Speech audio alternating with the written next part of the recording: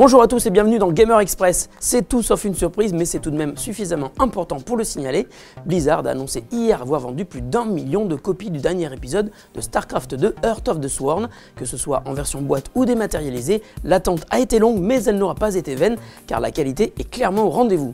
Deux ans après Wings of Liberty, premier épisode de StarCraft 2, Blizzard nous livre enfin la suite, qui a ravi à la fois les fans purs et durs de la licence, mais aussi la presse vidéoludique qui est donc unanime, le titre est une réussite. Nous y suivons Kerrigan, ancienne reine des larmes, redevenue humaine et consciente grâce à Jim Raynor dans l'épisode précédent. Kerrigan va revenir dans les Saints pour se venger des Terrans.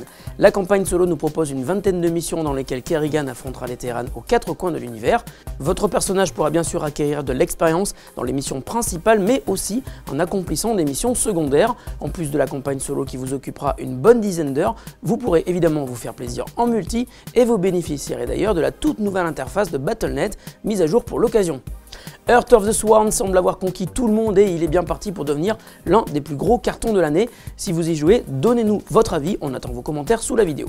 Dans le reste de l'actu, Bioshock Infinite arrive le mardi 26 mars, les premiers tests du jeu complet commencent à tomber et les notes sont vraiment excellentes, mais l'info qui fait parler depuis hier soir est le coût total du jeu.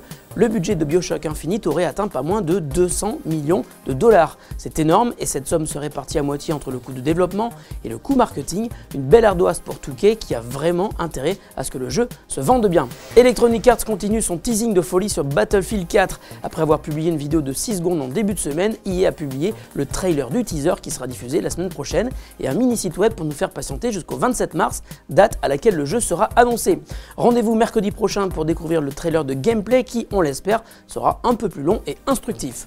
La question du jour porte sur notre news principale du jour, StarCraft 2 Heart of the Sworn et la suite du premier épisode de StarCraft 2 sorti il y a deux ans.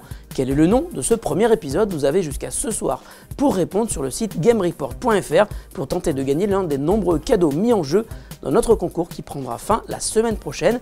On se retrouve lundi pour un nouveau Gamer Express. Salut à tous et bon week-end